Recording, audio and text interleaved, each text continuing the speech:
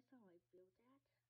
Hey, I don't have to. Okay, and now this is guys how I build these electric car lines. There we go. Now can you guess how I built them?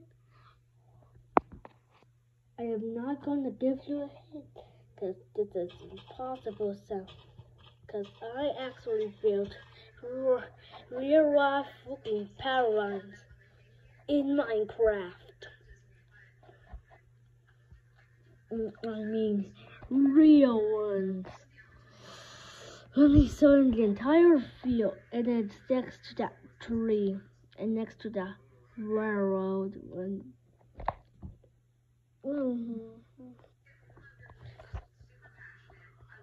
Do you guess what it is?